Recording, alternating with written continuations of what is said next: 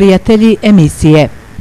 Knjižara Bookstore Tutin nudi sve vrste reklamnog materijala, rokovnici, kalendari, hemijske, privesci, upaljači, radne uniforme, novogodišnji pokloni. U knjižari Bookstore možete naći kompletan školski program, poklon program, suvenir program, pokloni za rođendane, preko 500 naslova, različitih knjiga i velika ponuda igračaka. Korak ispred svih. Knjižara Bookstore. Autocentar Dersan Tutin. Vrhunska usluga, savremene tehnologije, sve na jednom mjestu, tehnički pregled, registracija i prevod svih vrsta putničkih i teretnih vozila, osiguranje, međunarodna dokumenta, prenos vlasništva vozila, atesti, zeleni karton.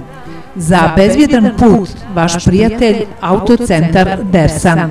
Dođite i uštedite najpovoljnijim cijenama i odgovornom poslovnošću. Pravi izbor Autocentar Dersan. U posljednje vrijeme aktuelna je priča o pojavi malih boginja, najprije u susednoj Rumuniji, da bi se kasnije pojavile na Kosovu, onda prešle i u mnoga mjesta u Srbiji. U posljednje vrijeme, odnosno Zavod za javno zdravlje u Novom pazaru, koji je nadležan i za opštinu Tutin, objavio je da ima i slučajeva pojave malih boginja u Tutinu. Tim povodom, zbog aktuelnosti, u goste smo pozvali načelnika epidemiološke službe Tutinskog doma zdravlja, doktora Mithada Eminovića. Dobrodošli i recite nam nešto o tome kakva je trenutna situacija kada su male boginje u pitanju.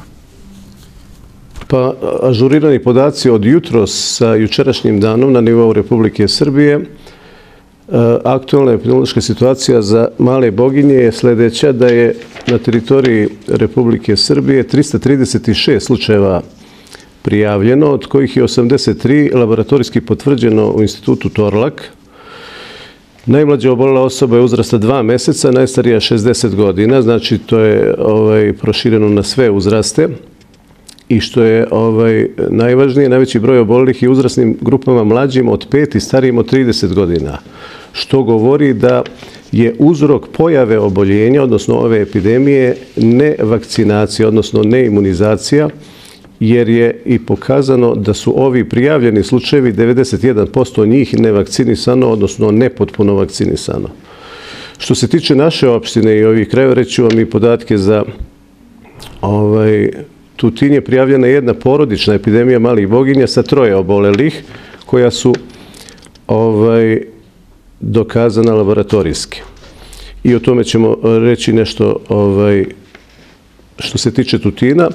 Ili odmah da kažemo, to se ne radi o ovaj autohtonom slučaju za našu opštinu, nego se radi o jednom takozvanom uvezenom, importovanom slučaju sa teritorije Kosova, u jednoj porodici Roma koji su ovaj, veoma pokretljivi, bili su u jednom periodu, inače sad na Kosovu, ovaj, vlada epidemija malo širih razmera i onda je znači taj slučaj donet, importovan na, na našu teritoriju.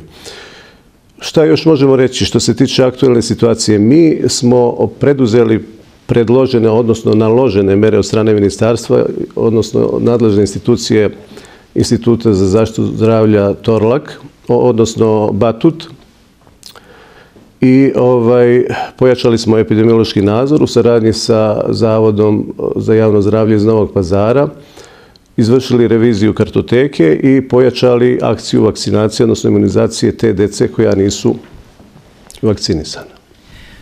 Poštrane su mjere epidemiološkog nadzora od 9. oktobra ove godine na cijeloj teritoriji Republike Srbije, pa naravno i kod nas. Recite mi, Zbog čega je u stvari došlo do pojave ove epidemije? Pa rekao malo prije, to je glavni uzrok. Da li zbog nevakcinisanja i neprimanja ove MMR vakcine i pojasnite nam malo šta je to MMR vakcina? Tako je. Znate kako, to je rezultat jedne e, dugotrajne, ali na, na tala se intenzivirajuće e, kampanje protiv vakcinacije, koja se posebno odnosi na ovu vakcinu MMR,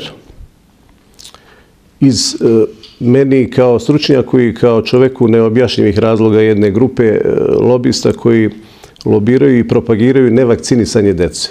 Jedna normalna pojava posle takve jedne kampanje na koju su, nažalost, ne samo u našoj zemlji, nego i u okruženju ovaj, ne išli na, na ovaj, razumevanje, odnosno određen broj roditelja, po mom mišljenju, nedovoljno odgovornih. Ja ne kažem da to nisu zabrinuti dobronaverni roditelji, ali nisu do kraja odgovorni jer ne konsultuju struku. Oni su poslušali te ovaj, lobiste koji lobiraju da se ne vakcinišu deca i normalna je pojava epidemija na, na ovom nivou. Ja ću vam reći podatke za okruženje, možda će biti interesantno što se tiče uh, u Rumuniju, pomenuli ste malo prije, u Rumuniji je ovaj, registrovano 9,5 hiljada obolelih. Sad ću vam tačno reći.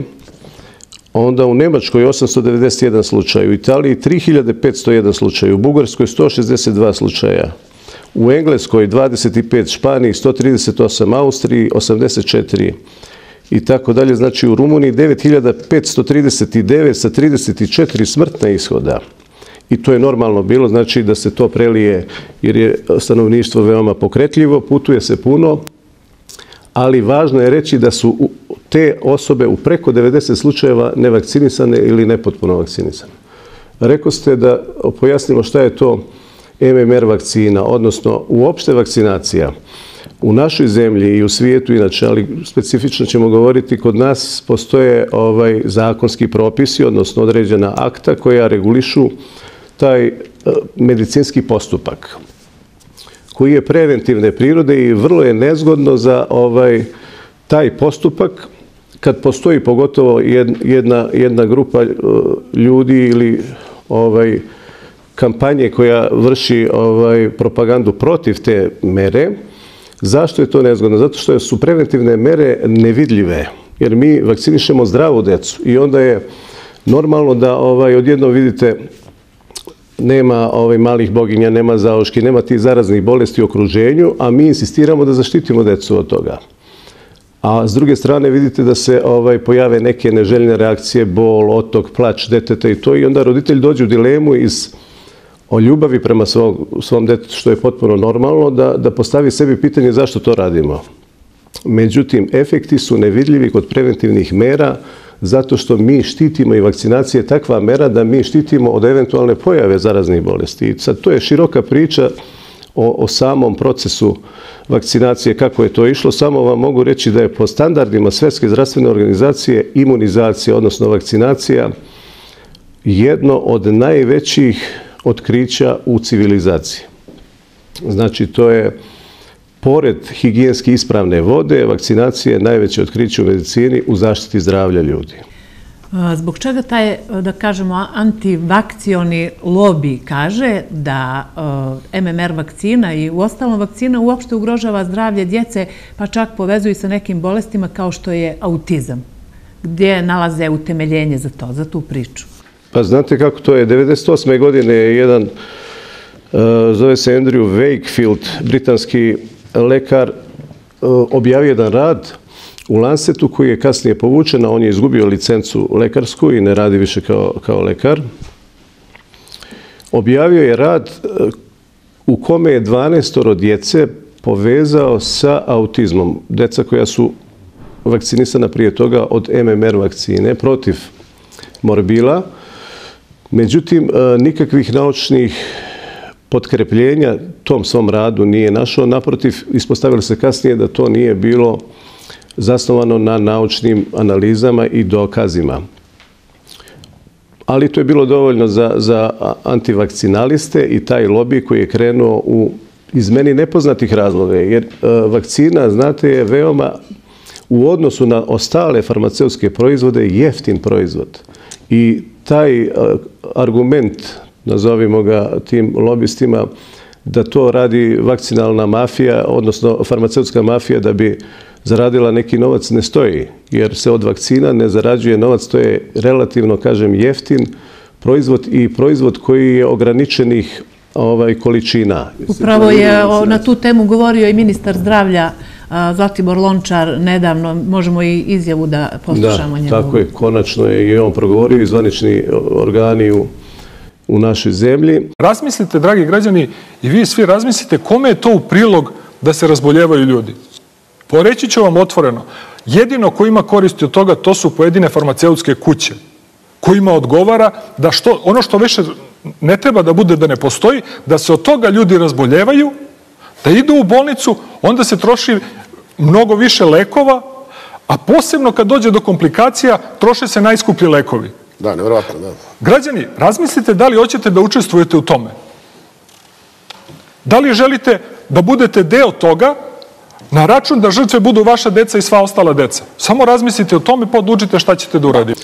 Jer je neophodno da se institucije uključe u odbranu ovih eh, na, na nauci dokazanim postupcima u medicini.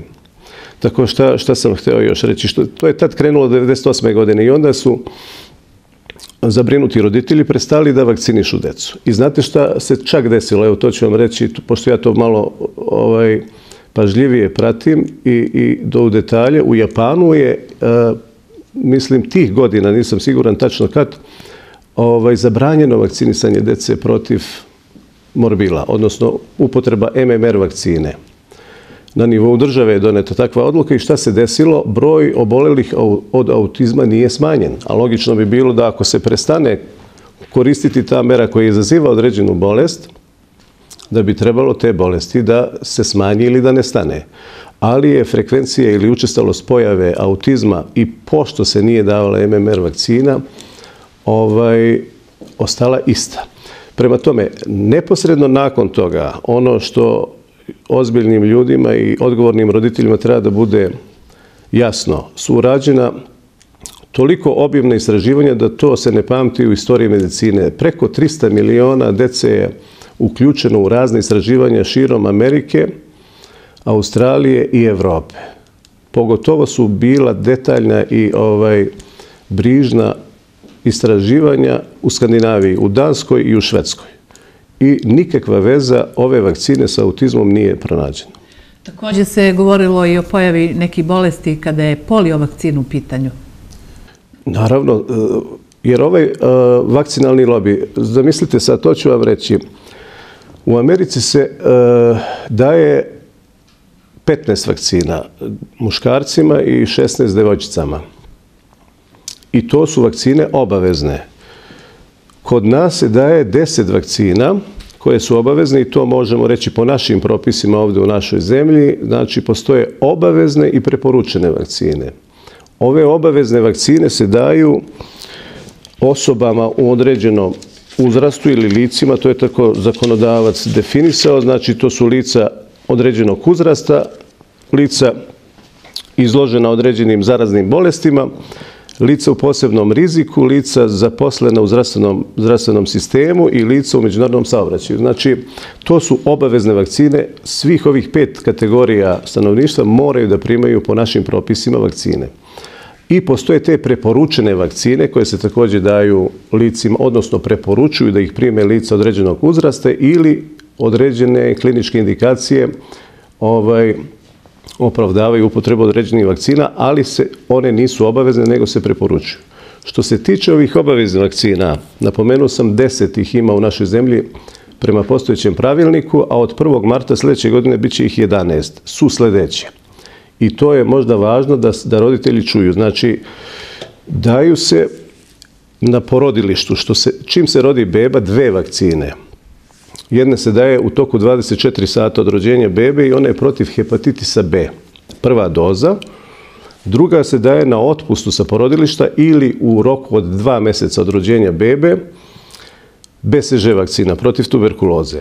Onda se daje sa navršena dva meseca, odnosno sa mesec dana na službi za vakcinaciju dobije dete drugu dozu hepatit B vakcina, sa navršena dva mjeseca dobija petovalentnu vakcinu. Od prošle godine se koristi i u našoj zemlji. Veoma kvalitetna, efikasna i konforna. Jer dajemo odjednom jednim ubodom, štitimo dijete od pet bolesti. I to su difterija, tetanus, veliki kašalj, teška oboljenja izazvana hemofilusom influence B i poliomijelitis.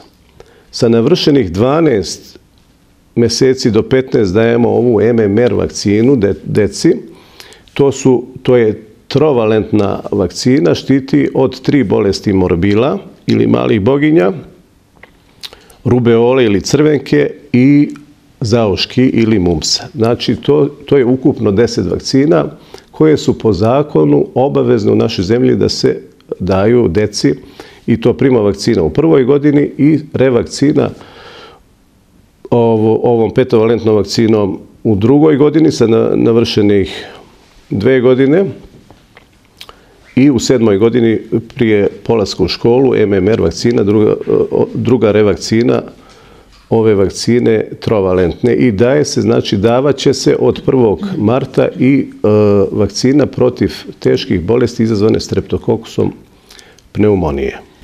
Za neodazivanje na ovu obaveznu vakcinaciju zaprijećene su i novčane kazne.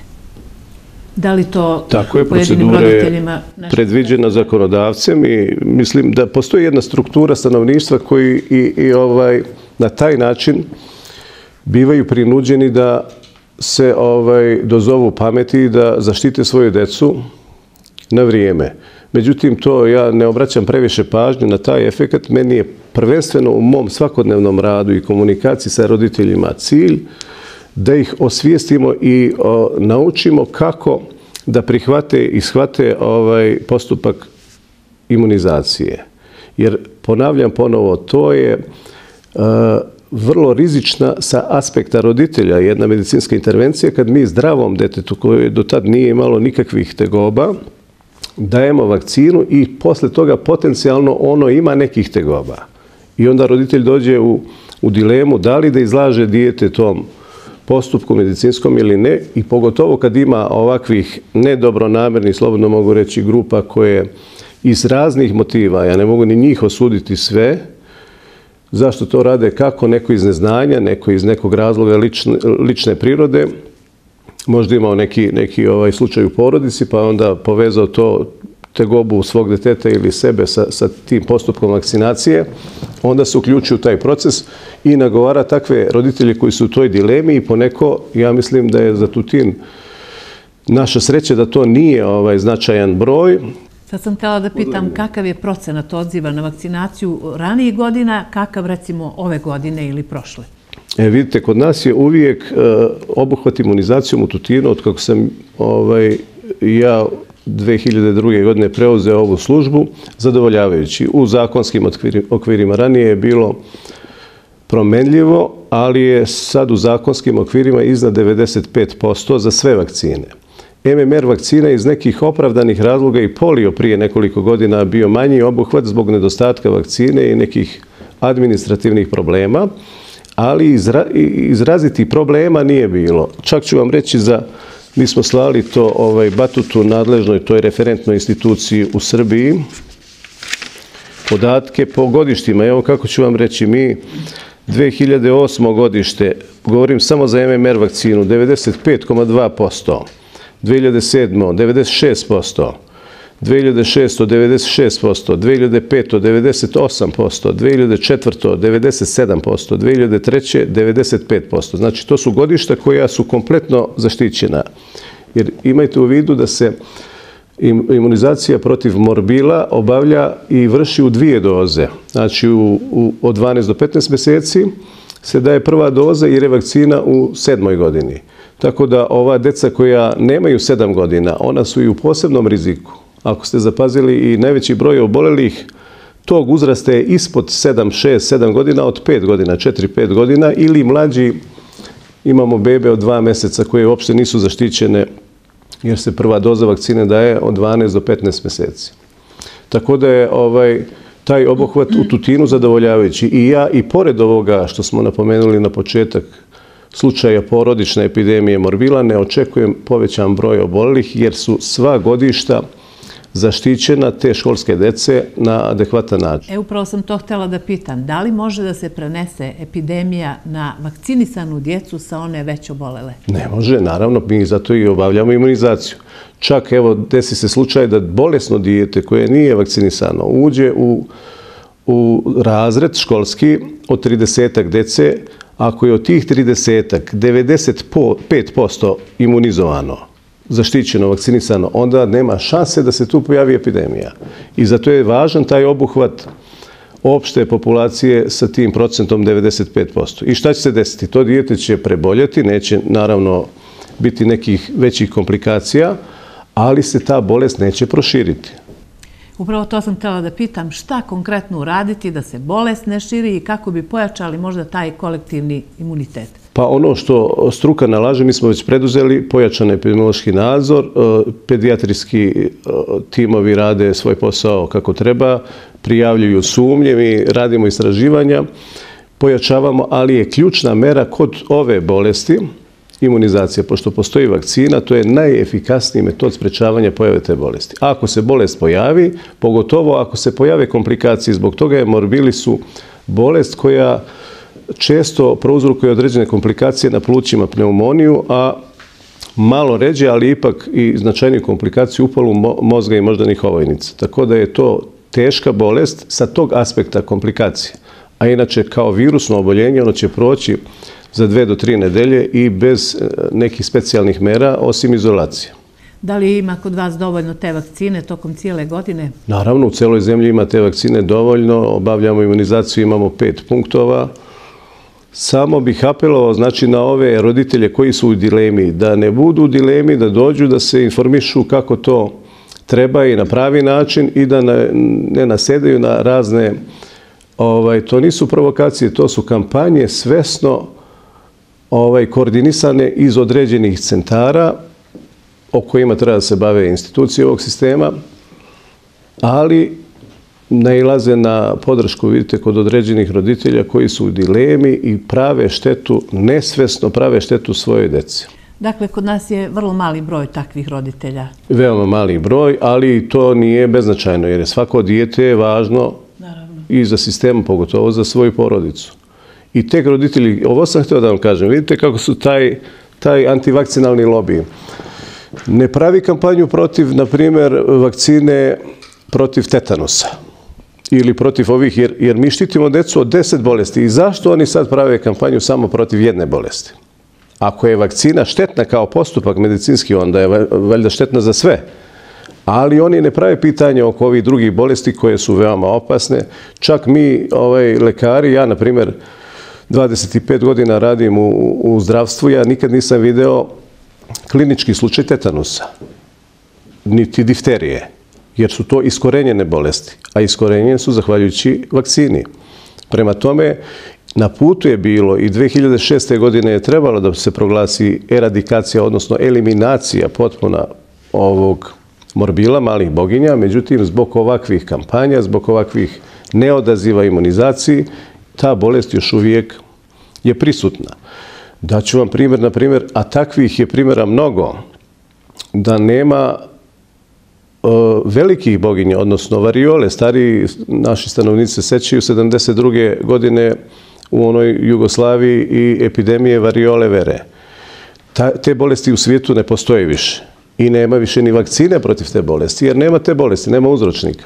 Prema tome, e, zasluga za, za eliminaciju tih bolesti i tog virusa je na vakcinaciji. Takav je postupak, rekoh, nikad nisam video tetanus niti difteriju, tih bolesti više nema. Na, u na, našim domovima zdravlja nema ni zauški, nema ni velikog kašlja. To je potpuno, to su sporadični slučajevi i opet se javljaju kod osoba koje nisu vakcinisane.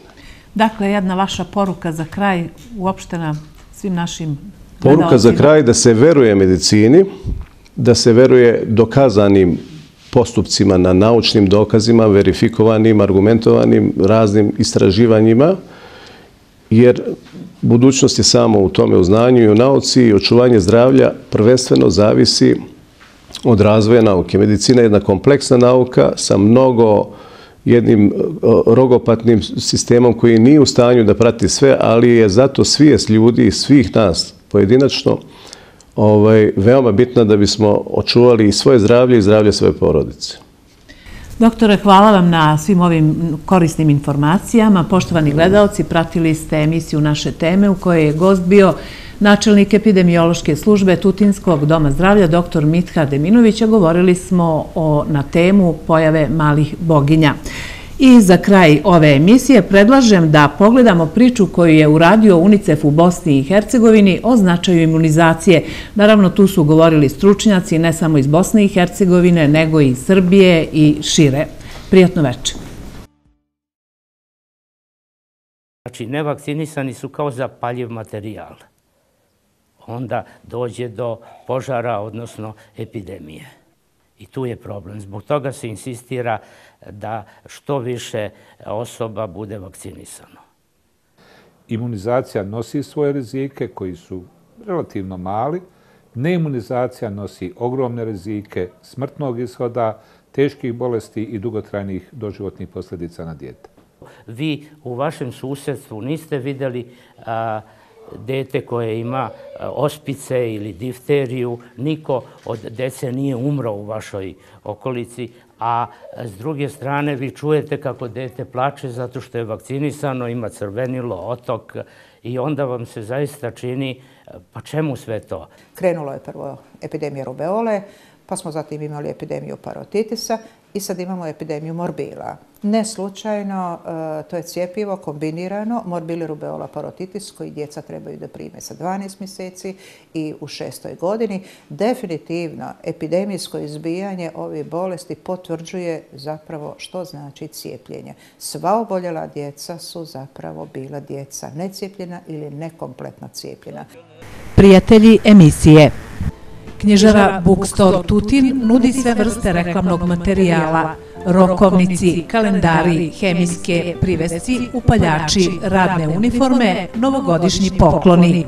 U knjižari Bookstore možete naći kompletan školski program, poklon program, suvenir program, pokloni za rođendane, preko 500 naslova, različitih knjiga i velika ponuda igračaka. Korak ispred svih. Knjižara Bookstore. Autocentar Dersan Tutin. Vrhunska usluga, savremene tehnologije, sve na jednom mjestu. Tehnički pregled, registracija i prevod svih vrsta putničkih i teretnih vozila, osiguranje, međunarodna dokumenta, prenos vlasništva vozila, atesti, zeleni karton. Za bezvjedan put, vaš prijatelj, Autocentar Dersan. Dođite i uštedite najpovoljnijim cijenama i odgovornom poslovnošću. Pravi izbor. Autocentar Dersan.